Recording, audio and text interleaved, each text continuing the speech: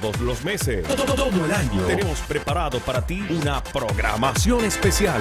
Natividad. Natividad.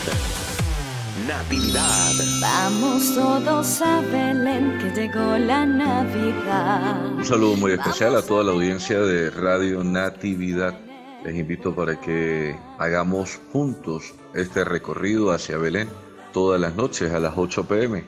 Recordar de que el cristiano debe reavivar la esperanza y la alegría en la encarnación del Hijo de Dios y que esa bendición se pueda extender a cada uno de los hogares del Táchira y del mundo entero. Les esperamos.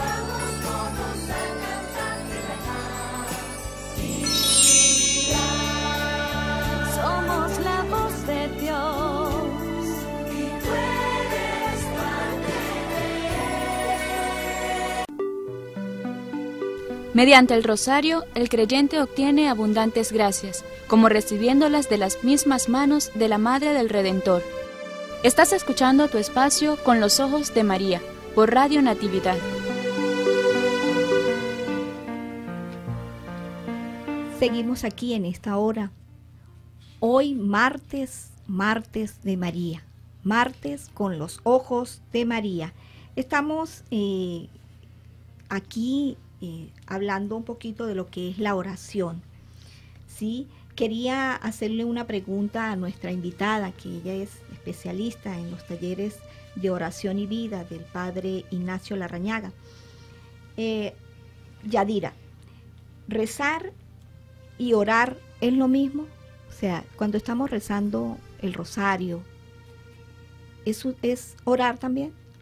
¿O qué me dirías tú? Rezar es una modalidad de oración. O sea que- Eh, porque hay ah- unos que dicen, no, este, eh, el rosario es rezar y la oración es otra cosa. Bueno, porque se, han, se han dado muchas definiciones de lo que es orar. Por ejemplo, Eva, ¿para ti qué es orar?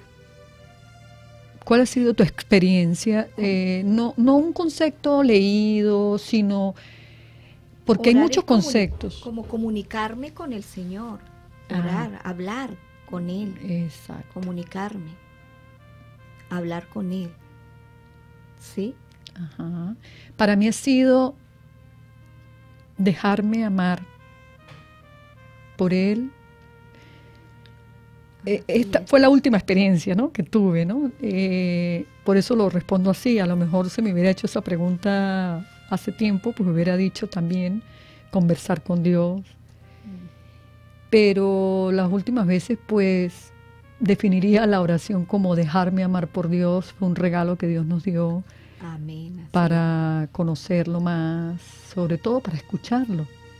Y una de las cosas más difíciles, porque quisiéramos como cerrar esta, esta partecita que hablábamos de la dispersión. Ah, Eh, el momento de orar o de rezar, una de las modalidades de los talleres oración y vida se llama lectura rezada. Se puede rezar un Padre Nuestro, eh, es fácil. Se puede rezar un Ave María, es fácil. Pero orar y llegar a las profundidades de la contemplación no es fácil. No es fácil.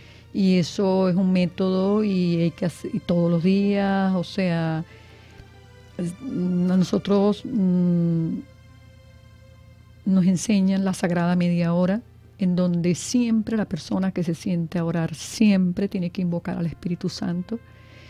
Eh, según el método de Padre Ignacio, primero se invoca al Espíritu Santo, luego en esta sagrada media hora, los primeros 15 minutos, Dios nos habla a través de su palabra y los otros 15 minutos yo le hablo a Él, ¿no? Amén. así Y hay muchas modalidades de oración. Entonces, orar no es lo mismo que rezar. En, puede llegar a ser lo mismo. O sea, puede ser una modalidad de oración.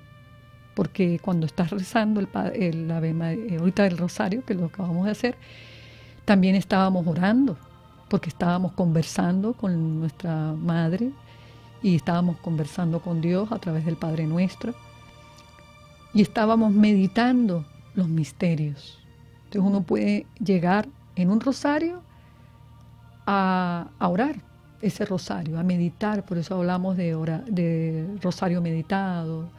Incluso podemos decir un rosario orado, porque entonces uno se puede quedar con, el, con esa contemplación de esos misterios y estás orando un rosario, ¿no? No repetirlo así como, como un rezo sin estar pensando en lo que estoy diciendo, pero si, si estás pensando en lo que estás diciendo y te estás comprometiendo y estás conversando con Dios, estás orando, estás orando a través del rezo. Este es un método de oración. Rezar es un método de oración. Amén. Así es, qué bueno, qué bueno. Qué bien. Buenos, este, nos han llegado acá algunos nombrecitos de los cumpleañeros. Quiero decirles que los vamos a anotar hoy lo felicitamos, les enviamos eh, bendiciones a todos los cumpleañeros y les decimos que, bueno, hoy este, nuestro amigo César y los, el grupo de mariachis no están, pero le cantaremos para el próximo martes el cumpleaños feliz a todos los cumpleañeros. Hoy los vamos a anotar y también pues les queremos eh, este, felicitarlos por aquí. Eh, la Greylis nos envía una que está cumpliendo años. Dios le bendice a todos los cumpleañeros. Amén. Y este y bueno, le cantaremos para el próximo martes, le cantaremos su cumpleaños feliz.